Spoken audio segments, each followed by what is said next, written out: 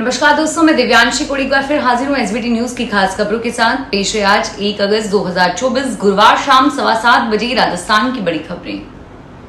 जयपुर में देर रात से हो रही तेज बारिश ने पिछले 12 साल का रिकॉर्ड तोड़ दिया है। जयपुर मौसम केंद्र पर एक एमएम बारिश दर्ज हुई है।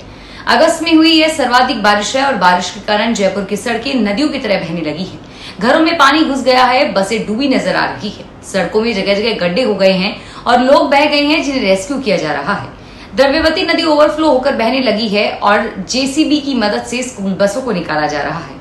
जयपुर तहसील पर 225 एमएम, यानी 9 इंच बरसात दर्ज की गई है। इतनी भारी बारिश के बाद जयपुर में जगह जगह पानी भर गया है। रेलवे स्टेशन पर सुबह छह बजे पटरियों पर दो फीट तक पानी भर गया। राजस्थान हाईकोर्ट ने सरकारी स्कूलों में शिक्षकों की जगह दूसरे व्यक्तियों की पढ़ाई कराने की शिकायतों को गंभीरता से लिया है। कोर्ट ने प्रॉक्सी शिक्षक प्रथा को बर्दाश्त नहीं करने का संकेत देते हुए चेतावनी दी है कि इसे रोकने के लिए बड़े कदम नहीं उठाए तो अपराधियों को अवमानना की सजा से दंडित किया जाएगा। मुख्य सचिव, शिक्षा विभाग के सचिव तथा माध्यमिक व प्राथमिक शिक्षा निर्देशकों को सौंपी गई है और साथ ही साठ अक्टूबर तक पालना रिपोर्ट मांगी है। न्यायाधीश अनूप कुमार खंड ने मंजू की याचिका को खारिज करते हुए यह आदेश दिया है। विदेश मंत्रालय के प्रवक्ता रणधीर जायसवाल ने एक्स पर कहा है कि भारत वियतनाम साझेदारी को नई ऊंचाइयों पर ले जाते हुए प्रधानमंत्री नरेंद्र मोदी ने हैदराबाद हाउस में वियतनाम के प्रधानमंत्री फार्म चिन का गर्मजोशी से स्वागत किया। उन्होंने कहा कि बातचीत के एजेंडे में भारत वियतनाम व्यापक रणनीतिक साझेदारी को और अधिक मजबूती प्रदान करना चाहता है। राजस्थान के विद्यालयों में सत्र शुरू होने के एक माह बाद आखिरी शिक्षा विभाग ने शिविरा पंचांग जारी किया है और इसमें स्कूलों के संचालन के तरीके व आयोजनों की तिथियों को लेकर भ्रम की स्थिति दूर हो गई है। शिविरा पंचांग में राजस्थान में बन गई सरकार की छाप भी नज़र आ रही है और इसके चलते कई कार्यक्रमों में बदलाव भी किया गया है। बसपा मुक्त दिवस अब प्रत्येक शनिवार की जगह माह के द्वितीय व चतुर्थ शनिवार को ही मनाया जाएगा। पूर्व विद्यार्थी सम्मेलन का नाम बदलकर सखा सम्मेलन कर दिया गया है। श्री कृष्ण जन्मभूमि और शाही ईदगाह को लेकर चल रहे विवाद में मुस्लिम पक्ष को हाईकोर्ट से बड़ा झटका लगा है। हिंदू पक्ष को राहत देते हुए इलाहाबाद हाईकोर्ट ने मुस्लिम पक्ष की याचिका को खारिज कर दिया है और मथुरा में कृष्ण जन्मभूमि और शाही ईदगाह विवाद के मामले में हाईकोर्ट ने गुरुवार को कहा कि मुकदमा विचारणीय है। हिंदू पक्ष की याचिका सुनने योग्य है और न्यायमूर्ति मयंक कुमार के संबंध में मुस्लिम पक्ष द्वारा दायर अर्जी फैसला सुरक्षित रख ली गई है स्वास्थ्य मंत्री गजेंद्र सिंह ने गुरुवार को विधानसभा में कहा कि राज्य सरकार द्वारा प्रदेश में चोरी और अन्य आपराधिक घटनाओं की रोकथाम के लिए गंभीरता से प्रयास किए जा रहे हैं। उन्होंने बताया कि प्रदेश में 16 दिसंबर 2023 को एंटी गैंगस्टर टास्क फोर्स का गठन किया गया है और इसके अलावा प्रत्येक ज़िले में पुलिस अधीक्षक की अगुवाई में सात से पंद्रह टीमों का गठन किया गया है। सुरक्षात्मक उपाय करते हुए अपराधियों को डेटाबेस तैयार किया जा रहा है और साथ ही सीसीटीवी कैमरों की संख्या भी बढ़ा दी गई है। उच्चतम न्यायालय ने दिल्ली के मुख्यमंत्री अरविंद केजरीवाल के सहयोगी विभव कुमार को आम आदमी पार्टी की राज्यसभा सांसद स्वाति मालीवाल पर हमला करने के मामले में गुरुवार को दिल्ली पुलिस को नोटिस जारी किया है। न्यायमूर्ति सूर्यकांत और न्यायमूर्ति उज्ज्वला भुइया की पीठ ने जमानत के लिए याचिका दाखिल करने वाले विभव का पक्ष रखे वरिष्ठ अधिवक्ता सिंघवी की दलीलें सुनने के बाद दिल्ली पुलिस को नोटिस जारी किया है और कहा है कि अगली सुनवाई बुधवार को दी जाएगी। पीठ ने सुनवाई के दौरान केजरीवाल के सहयोगी को फटकार लगाते हुए कहा कि वे दिल्ली के मुख्यमंत्री के आधिकारिक आवास पर हुई इस घटना से स्तब्ध है। राजस्थान की भजनलाल सरकार उत्तराखंड की तर्ज पर राजस्थान में यूनिफॉर्म सिविल कोड यानी समान नागरिकता संहिता लागू करने के लिए बिल लाएगी। उत्तराखंड की तर्ज पर राजस्थान में यूसीसी लागू करने के लिए बिल लाने पर बीजेपी विधायक कालीचरण सराफ के सवाल के जवाब में न्याय और संसदीय कार्य मंत्री जोगाराम पटेल ने कहा कि राज्य सरकार इस विषय में विचार कर रही है। सरकार की तरफ़ से उचित समय पर बिल लाया जाएगा और सरकार ने बिल लाने और यूसीसी लागू करने की समय सीमा के बारे में भी नहीं बताया है। दौसा में सोयाबीन तेल पैकेट के लेवल पर ज़ीरो कोलेस्ट्रॉल लिखना एक कंपनी को भारी पड़ा। निर्णयन अधिकारी व अतिरिक्त जिला मजिस्ट्रेट दौसा ने प्रकरण में सुनवाई के बाद आदेश जारी करके बुगे इंडिया प्राइवेट लिमिटेड कंपनी पर तीन लाख रुपए का जुर्माना लगाया है। कंपनी ने अपने उत्पाद सोयाबीन तेल चंबल फ्रेश के लेवल पर ज़ीरो कोलेस्ट्रॉल लिखने की गलती की। जिस पर मिस ब्रांड मानते हुए कंपनी पर जुर्माना किया गया।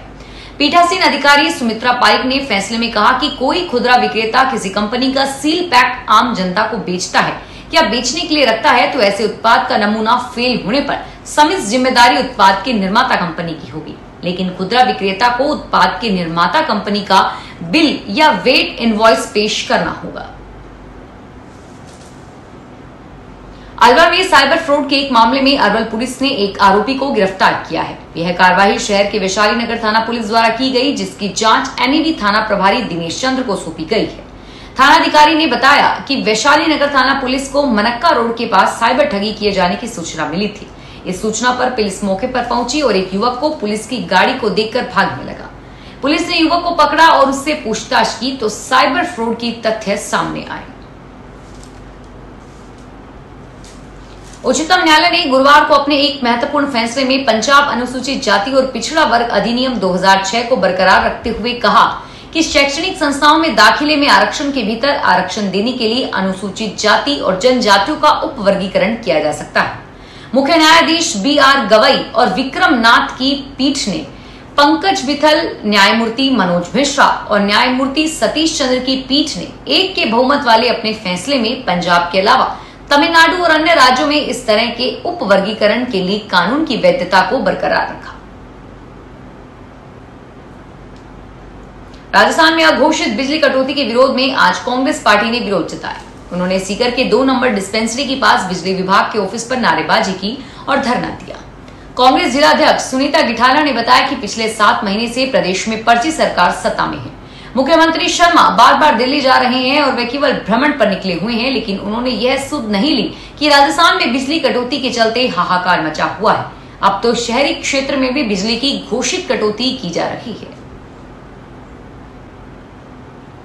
जोधपुर में जयनारायण व्यास विश्वविद्यालय केंद्रीय कार्यालय के बाद आज एनएसयू के कार्यकर्ता भूख हड़ताल पर बैठे हैं।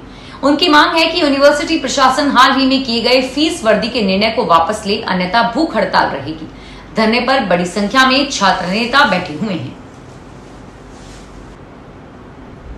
करौली ज़िले में लगातार चल रही मूसलाधार बारिश के चलते नदी नाले उफान पर हैं।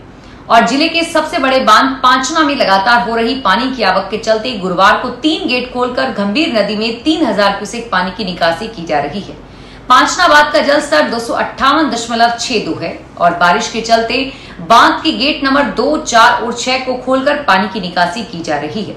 जल संसाधन विभाग के अधिकारी बाँध के जल स्तर पर नज़र बनाए हुए हैं। मौसम विभाग ने भी आगामी एक दो दिन तक माध्यम से बारिश की चेतावनी अभी और जारी की है। राजस्थान हाईकोर्ट ने राजसमंद विधायक दीप्ति माहेश्वरी सहित अन्य सही प्रतिवादियों को समन जारी किया है। हाईकोर्ट ने 20 सितंबर तक जवाब तलब करने के आदेश दिए हैं। दरअसल दीप्ति माहेश्वरी के उदयपुर के वोटर कार्ड पर आपत्ति दर्ज करते हुए याचिका पेश की गई थी। इस याचिका पर सुनवाई के दौरान जस्टिस विनीत कुमार माथुर की एकल पीठ में नोटिस जारी किया गया। याचिकाकर्ता अधिवक्ता जितेंद्र कुमार खटीक ने एक चुनाव याचिका पेश की थी, जिसमें बताया कि राजसमंद में विधानसभा चुनाव 2023 के दौरान आरोप के समक्ष आपत्तियाँ उठाने के बावजूद चुनाव शून्य घोषित नहीं किया गया। फ़िलहाल इस बुलेटिन में इतना ही, और फिर हाजिर होंगे तमाम बड़ी खबरों के साथ। धन्यवाद।